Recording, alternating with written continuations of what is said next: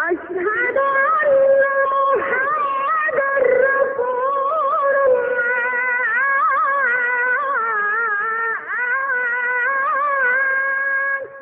بسم الله الرحمن الرحيم. أحمد الله حمدا يليق بجلال وجهه وعظيم سلطانه وأصلي وأسلم على المبعوث رحمة للعالمين. سيدنا محمد صلى الله عليه وعلى آله ومن تبعهم بإحسان إلى يوم الدين السلام عليكم ورحمة الله وبركاته ولا ليال وبرنامج كني قصص الصحابة تاريخ nololeedkii saxaabadii rasuulka ridwaan ullahi calayh insha allahu tacaala maanta waxa aynu ka hadli doonaa mid ka mid a saxaabadii ugu waaweyneed saxaabada rasuulka ridwaanullahi calayhi waxa weeye abaa ayuub alansaarey abaa ayuub baynu insha allahu tacaala siiradiisii wixii u eebaynooga idmo aynu ka hadli doona insha allahu tacaala abu ayuub waxaa la odhan jiray magaciisa khalid ibnu zayd waxaa nin ansaariya gaar ahaana reer khasraj ah radia allahu canhu ardaa.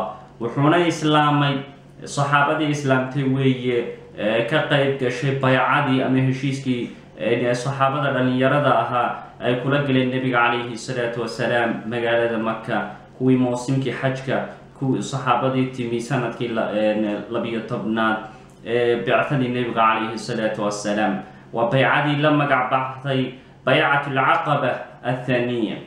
Marka saddex iyo toddobaatan nin ay ahaa iyo laba gabdhood.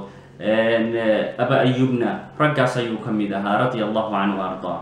Sanadkii koowaad ee hijrada waxaa soo hijrooday nebiga calayhi salaatu wasalaam iyo saaxiibkiisii abubakar radia allahu canh markay soo gaadheen magaalada madiina. Ayaa isagu wuxuu saarnaa nebigu hashiisii buu saarnaa. Markay magaalada madiina soo gaadheen ayaa saxaabadii ansaartu soo dhaweeyeen mid walba markaa wuxuu qabsaday hashii hogaanka hashii buu qabsaday. Ayagoo mid walba uu weydiinaya nebiga calayhi salaatu wasalaam inuu in uu ku soo dego ayaga. Oo saxaabadii ansaartu mid walba wuxuu leeyahay rasuulka ilaahay oo anaa ku martigelinaaye aniga gurigayga ku soo deg nebiguna wuxuu lahaa dacuuha fa inahaa ma'muura. War hasha iska daaya isagoo dhoon la cadaynaya rasuulku calayhi salaatu wasalaam way amran tahay. Marka hashi way socotaa. Saxaabaduna nin walba hogaanka ayuu haystaa iyo mid walba wuxuu leeyahay rasuulka ilaahay oo aniga igu soo deg anaa ku marti qaadayo nebiguna wuxuu leeyahay war ka taga way amran tahay. Ilaa markii dambe ay hashii fadhiisatay guri ama meel ay lahaayeen laba dhalinyaro laba caruuroo yaryar ay lahaayeen oo agoommo ah oo reer bani najaar agteeda ah. Meeshay qabaayilka reer bani najaar halkaas hashii fadhiisatay subxaan allah meeshii marka ay fadhiisatay nebigu waa iibsaday sala allahu calayhi wasalam waxaana laga dhisay masaajidkii nebiga sala allahu calayhi wasalam marka intii masaajidka la dhisaayey iyo sidoo kale guryihii nebiga intii la dhisaayey nebigu calayhi salaatu wasalaam wuxuu ku degay saxaabigan abu ayub al ansaari abu ayub baa markaa marti qaaday nebiga iyo ababakarba marka abu ayub radi allahu canhu wuxuu lahaa gurigiisu laba dabaq buu ahaa. Dabaq yaro hoose qol hoose iyo qol sare. Marka abu ayub baa wuxuu ku yidhi rasuulka ilaahayo waxaad fushaa dabaqa sare. Nebigu wuxuu ihi may anigu kan hoose ayaan joogay. Aba ayub iyo xaaskiisii ummu ayubna xagga sare ayay qabteen oo alaabtoodii bay qaateen waxayna u karin jireen nebiga sala allahu calayhi wasalam cuntadii ayay u diyaarin jireen nebiga calayhi salaatu wasalaam marka maalin maalmaha ka mid ah ayay u keeneen nebiga calayhi salaatu wasalaam cunto.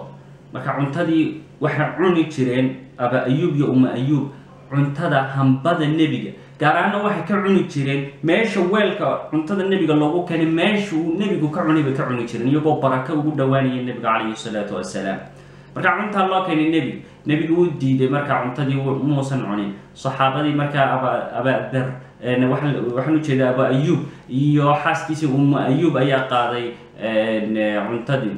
Dabadeedna waxay is dhaheen waxaad ka cuntaan meeshii nebigu ka cunay ee ay ka barakaysan jireen. Dabadeedna waxay arkay nebigu isagoon cuntadii cunin. Waxay dhaheen yaa rasuul allah maxaad cuntada u cunin weyde? Rasuulku wuxuu yidhi waxaad ku darteen cuntada geedkan toonta la dhaho. Nebiguna muu jeclayn sala allahu calayh wasalam macnaheedu maaha waa xaaraan toontu toontu waa caadi laakiin nebiga shaksiyadiisa ayaan jeclayn. Nebigu markaa wuxuu yihi cuntada tan ma jecli oo toontaas ama geedkaasa lagu daray. Markaas ma habeen habeenada ka mid a ayaa aba ayuub iyo uma ayuubna waxa ay qolkoodii sare weel yaalay oo biyo ku jiraan baadh ayaa jabay. Subxaan allah biyihii markaa way fataheen qatiifad yar ay umu ayuub haysaba meeshii ku masaxday si ay ugu qallajiso ayagoo diidan inay dhibic yar ay ku daroortay nebiga calayhi salaatu ama biyahaas halka ay ka soo daataan. Dabadeedna aba ayuub baa soo dego wuxuu leeyaha rasuulka ilaahay waxaan kugu furanayaa naftayda iyo aabbaha iyo hooyadayba ee kaalayo xagga sare deg. Nebiguna wuxuu lahaa calayhi salaatu wasalaam may aniga xagga hoose ii wanaagsan sababtoo ah waxaan ahay nin marti badan ay u imanayso. Marka haddaan xagga sareba dego qolkiinuna uu idinku noqdo qolka hoose dee bal martidan faraha badan iyo saxaabadan faraha badan ee nebigu uu qaabilayo so gurigan hoose ay joogaan abadar aba ayuub iyo uma ayuub ay joogaan. So so ma soo dhaafayaan oo dhib badan kuma noqonayso. Marka nebigu wuxuu may anigu halkan hoose ayaan iska deganaaniya radia allahu canhu ardaa aba ayuub wuxuu ka qayb galay dagaalkii beder intaanu dagaalka beder ka qayb gelina waxaa jirtay saxaabadu nebigu waxay u soo raaceen nebigaa ku yidhi waxayna qabanaynaa ciiri quraysh. Ninka abaa sufyaan baa safar buu watay.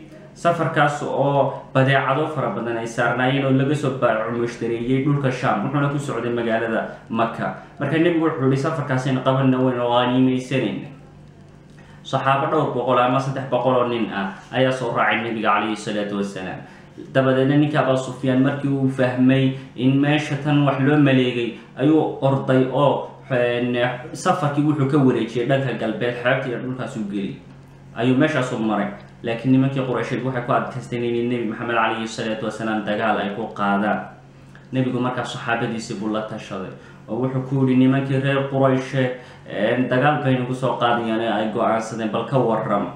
Markaas saxaabadii muhaajiriintu si wanaagsan bay u hadleen abubakar iyo cumar ibn alkhataab oo waxay dhaheen rasuulka ilaahayow waan kula dagaalamaynaa macaaga. Meeshaadna geysidna waan ku marayn waan marayna saxaabadii ansaarta iyaguna sidoo kale si wanaagsan bay u hadleen waxay dhaheen rasuulka ilaahayow haddaad barki lghamaad meesha la dhahdo. Yacni waa meel fog.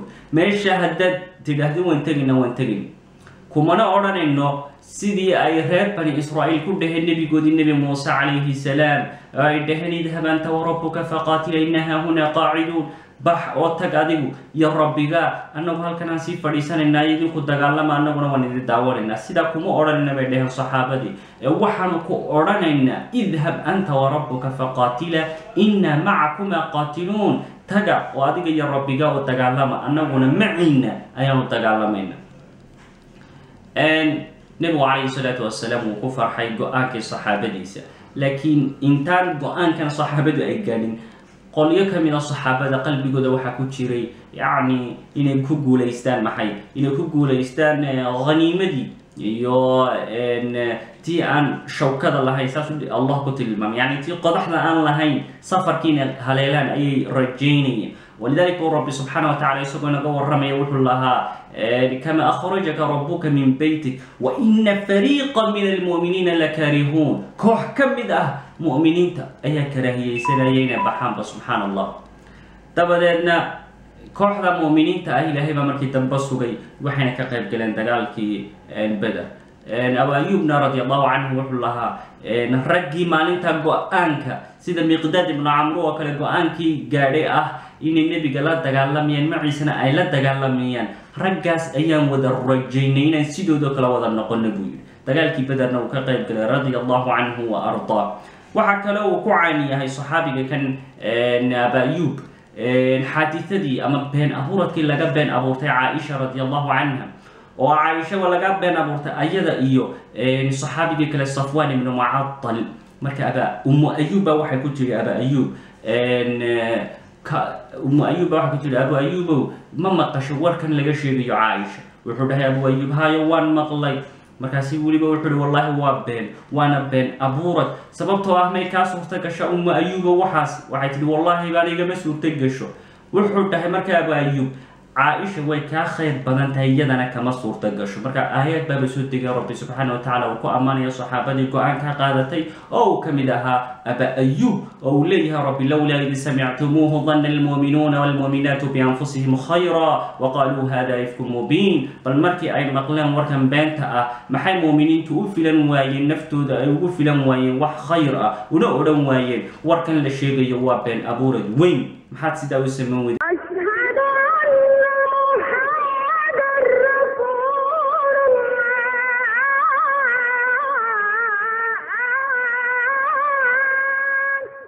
aba ayuub radi allahu canhu wuxuu kaloo ka qayb galay guud ahaan ghazawaadkii iyo duulaanadii iyo meelihii nebigu calayhi salaatu wasalaam uu taagnaay oo dhan waxaanu caan ku yahay saxaabigani radi allahu canhu inuu ka qayb galay ghaswadii ugu horeysay ee lagu furanayay magaalada la dhahdo qustantini oo nebigu calayhi salaatu wasalaam xadiid buu leeyahay ciidanka ugu horreeya ee magaalada qustantiniya la dhaho ku duulaya waa maqfuur lahum yani waa loo dembi dhaaf.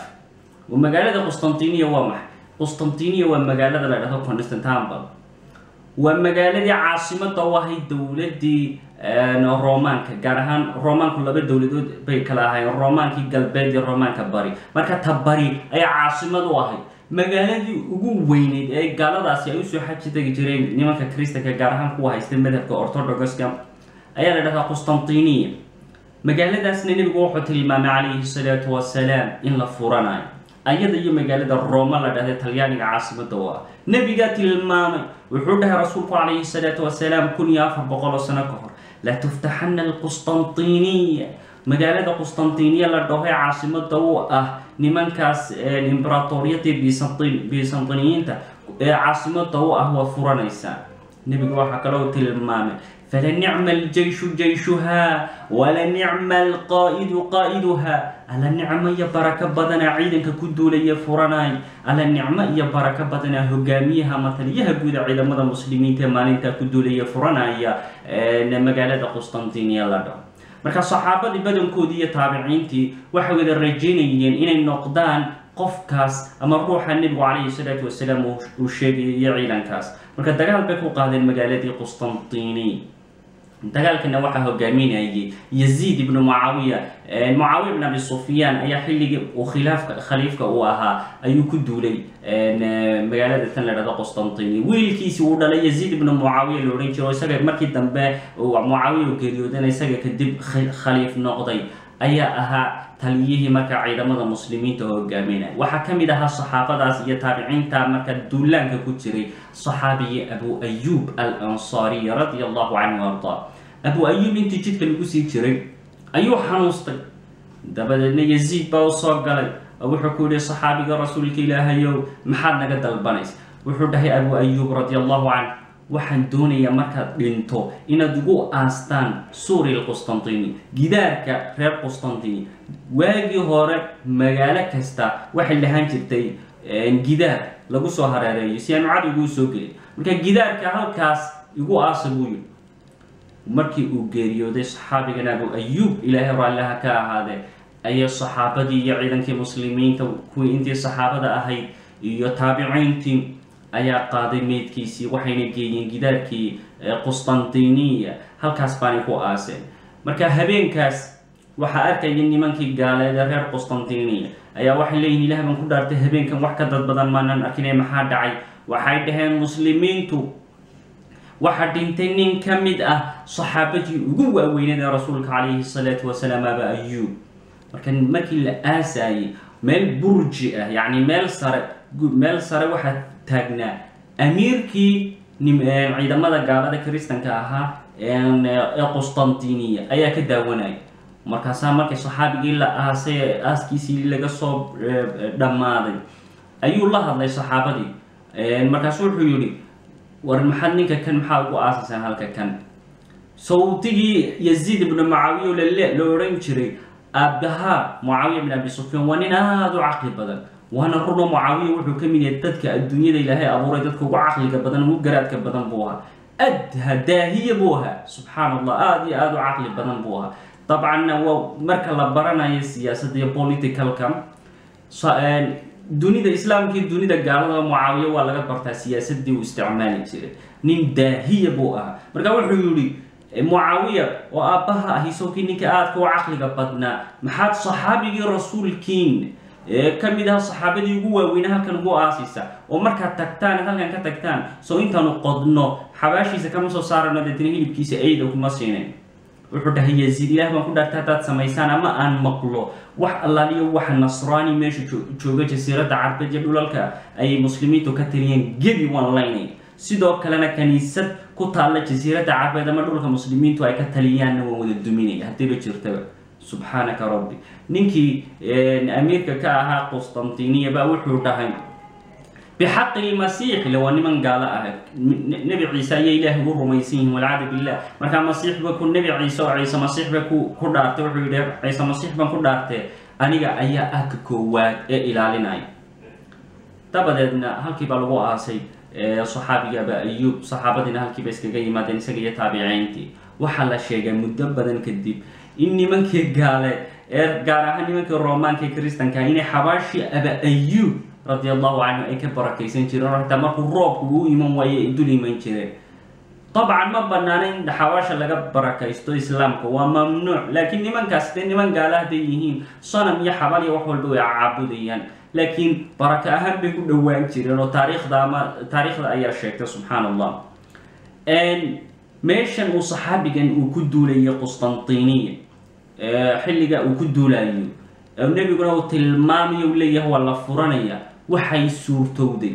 Ama ay rumowday weedha nebiga calayhi salaatu wasalaam uu leeyahay waad furanaysaan sideed boqol iyo toddobiyo kontonkii hijirada macnaha sideed boqol iyo dhowr iyo afartan sano kadib geeridii nebiga ayuu xadiidkaasi la dabaqay oo warkii uu sideed boqol iyo dhowr iyo afartan sannadood ka hor uu nebigu yidhi ay rumowday oo waxaa furtay sultaankii la odhan jiray moxamed alfatix raximahullah sultaankaasaa furtay magaaladii qustantiniya wuxuuna u bedelay magaceedii istanbul. Waa magaalada istanbul ee turkiga ku taalla. Sanadkii sideed boqol iyo toddobiyo kontonkii hijirada ayaa la furtay. Nebiguna sidoo kale wuxuu tilmaamay sala allahu calayhi wasalam in sidoo kale la tuftaxana roma waxaa la furanaya magaalada roma caasimada talyaaniga ayaa la furan doona. Waa isku hal xadiid xadiid baa dhanna daciif ma noqon karo dhannadii saxiix ma noqon karo subxaan allah xadiidku wuxuu tilmaamayaa in magaalada qustantiniya la furan doono istanbul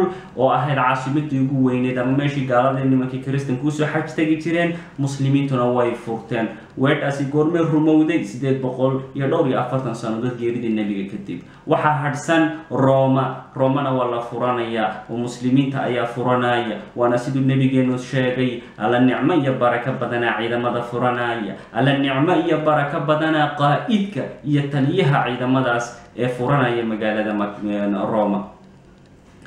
in sha allahu tacaala intaasaynu ku soo gabagabeyneynaa siiradii ama taariikhdii saxaabiga aba ayub al ansaari nin ka mid ah saxaabadii ugu waaweynada rasuulka ridwaan ullahi alayhi calayhim jamiica asal allah an yucalimana bima jahilna waan yanfacna bima callamana wallahu aclam assalaamu calaykum waraxmat ullahi wbarakaatu